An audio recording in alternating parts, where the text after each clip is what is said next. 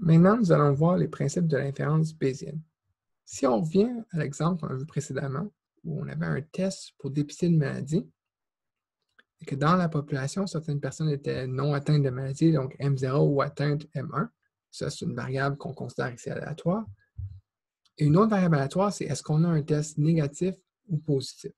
Et parce que le test n'est pas parfait, on peut avoir un test positif ou négatif, euh, autant si on est atteint ou non atteint de la maladie.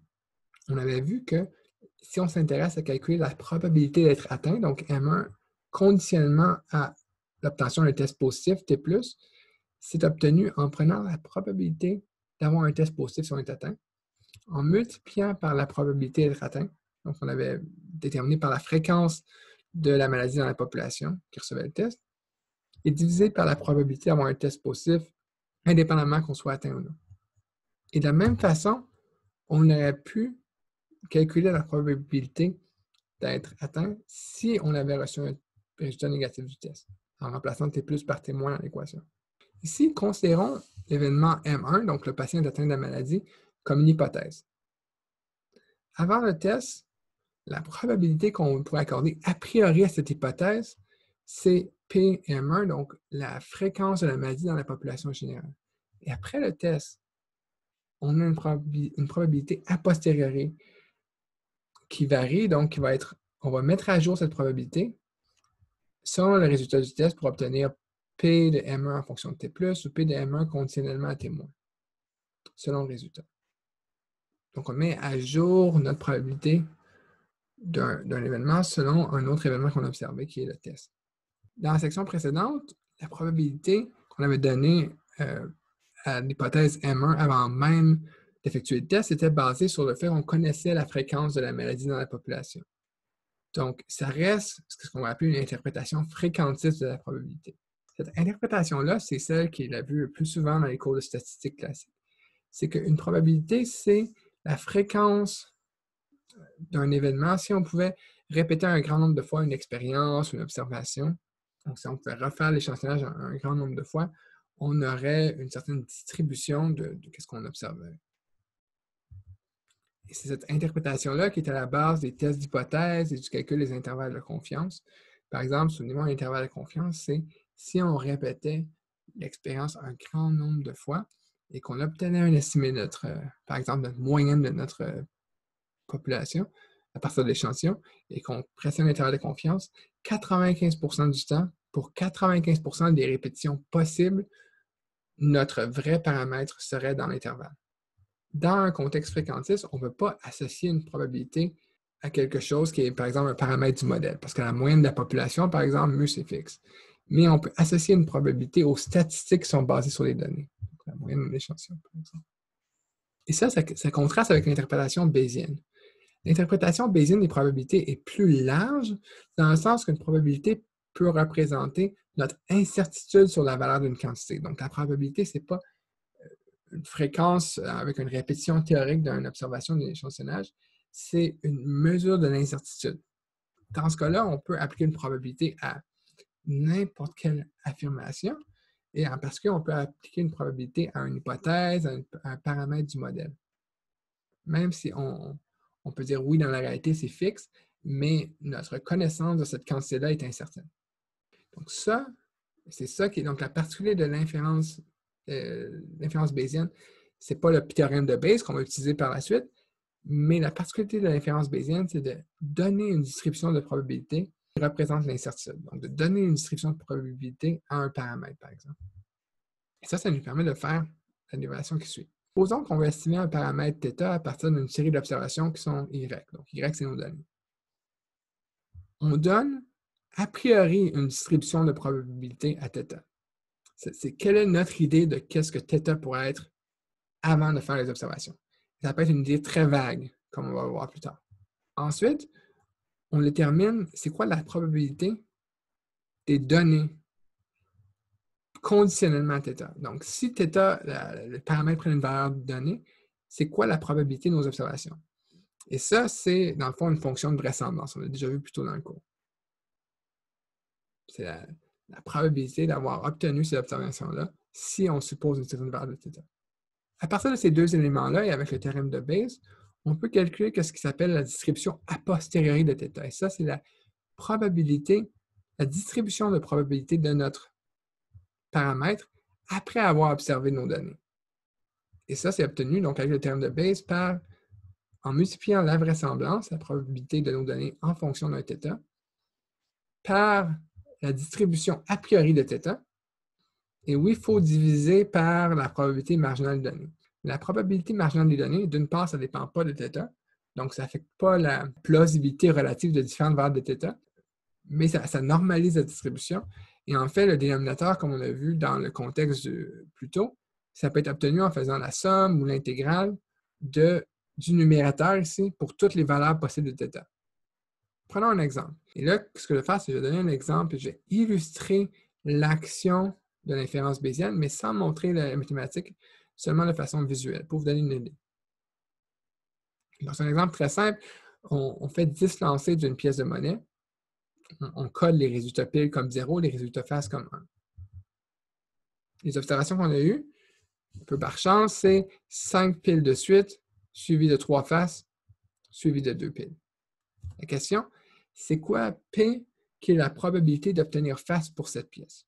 Donc, pour un P donné, valeur de P donné, vous reconnaîtrez qu'il s'agit d'un processus binomial. Donc, la fonction de vraisemblance, c'est la distribution binomiale où si Y, c'est le nombre de faces obtenues sur n lancées, la probabilité de Y pour un certain P est donnée par la distribution binomiale avec paramètres n et P.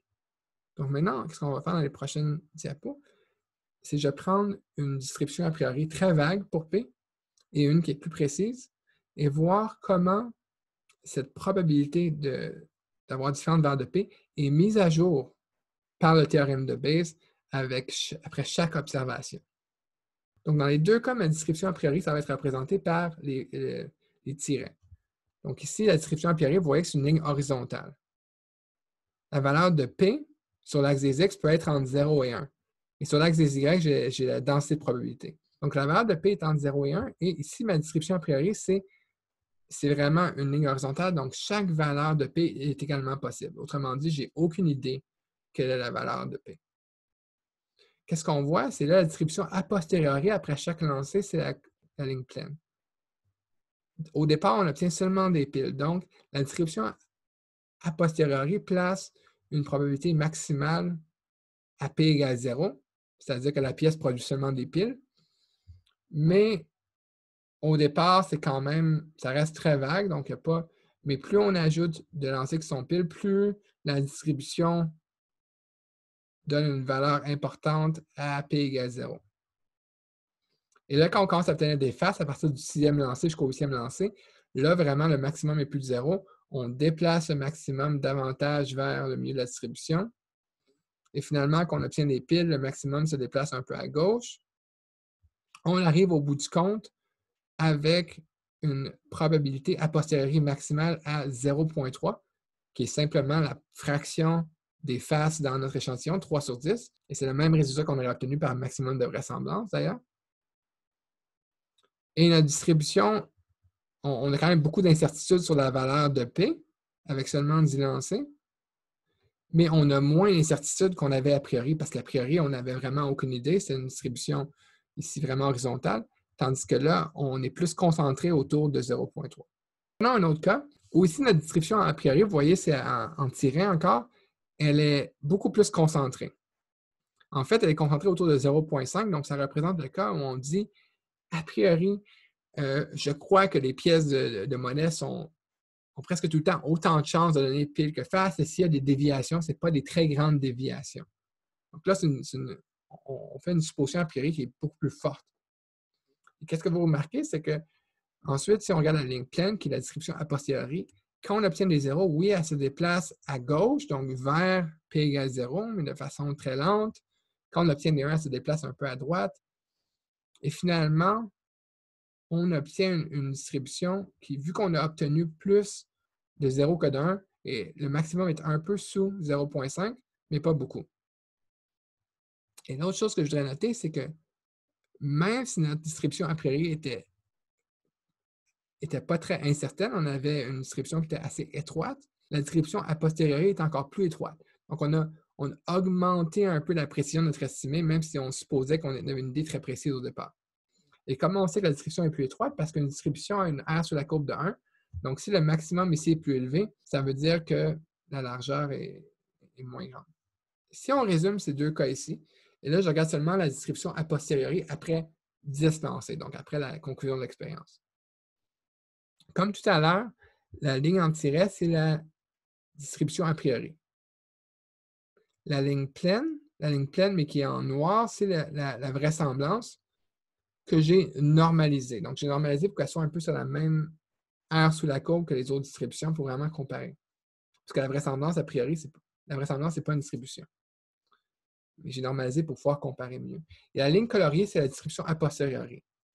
Donc, vous voyez que quand la description a priori n'a vraiment aucune idée, est très vague, la vraisemblance et la description a posteriori sont vraiment confondues. Donc, l'inférence bayésienne, si on a une distribution a priori très vague, va donner les mêmes résultats que la maximation de la vraisemblance. Dans le fond, l'effet de la description a priori devient négligeable. En contrepartie, si notre description a priori est très précise, comme ici, vous voyez que la description a posteriori ne va pas reproduire la fonction de, la fonction de vraisemblance, mais va être un peu entre euh, la conclusion donnée seulement par les données et la conclusion donnée par euh, la connaissance a priori. Donc, si la description a priori est assez étroite par rapport à la fonction de vraisemblance, donc si notre connaissance a priori est plus précise que la connaissance donnée par nos données, notre distribution a posteriori va, plus se, rapprocher de celle a priori.